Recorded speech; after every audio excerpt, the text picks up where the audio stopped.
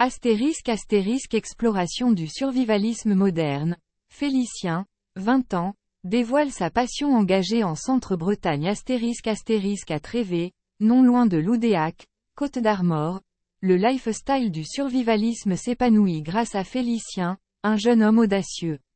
Dans sa longère nichée au cœur de la campagne costarmoricaine, ce passionné de 20 ans, entouré de sa famille, partage son mode de vie peu conventionnel. Survivalisme et co-responsable Félicien, résident du centre-Bretagne, se révèle être un survivaliste averti. Accompagné de son frère et d'un ami, il explore les concepts du survivalisme depuis plusieurs années. Le survivalisme, pour moi, incarne la symbiose avec la nature tout en anticipant les situations d'urgence, comme les ouragans ou les catastrophes naturelles. Entre deux escapades en forêt, Félicien et ses acolytes érigent des abris, perfectionnent leurs compétences de chasseurs-cueilleurs et s'adonnent même au béour, un combat médiéval en costume d'époque. Des passionnés multifacettes maîtrisant les arts martiaux et dotés d'une créativité débordante, Félicien se plonge dans la création d'outils pratiques. Forgeant couteaux et flèches, il collabore avec ses compères aux compétences variées, entre forge, soins médicaux et construction d'éoliennes, ils forment une équipe solide. Mutation céréalière La touche éco-responsable ne s'arrête pas là. Félicien et son trio mènent une sélection évolutive d'épeautres depuis plusieurs saisons.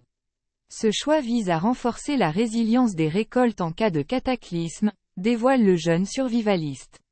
La prudence, pilier du survivalisme, est mise en avant. Félicien garantit la sécurité alimentaire de sa famille grâce à des réserves pouvant durer une semaine en cas de rationnement. Préparation sans relâche toujours prêt, Félicien ne se sépare jamais de ses outils essentiels, des pinces pliantes, un allume-feu et bien d'autres. Une scie à main côtoie des trousses de premier secours et des filtres à eau sur sa table. Les questions sur l'impact de cette passion sur sa vie se posent inévitablement. Initialement perplexes face à cette passion, les parents de Félicien le soutiennent désormais. Nos inquiétudes se sont apaisées en découvrant le côté positif de cette passion, loin des extrémismes américains, confie sa mère. Éco-conscience affirmée motivée par une profonde éco-anxiété, Félicien justifie son engagement par la nécessité d'agir face aux défis écologiques pressants. Une conscience collective reconnaît l'urgence de la situation.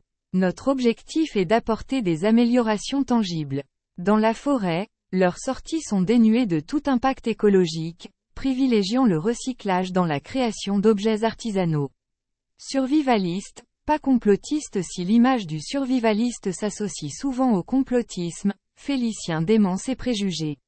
La majorité d'entre eux, dont lui, adoptent une approche pacifique axée sur l'autonomie. Félicien, ancré dans la normalité, travaille et ambitionne de rejoindre la gendarmerie. Ce mode de vie n'envahit pas mon quotidien, il vise simplement à me préparer à toute éventualité.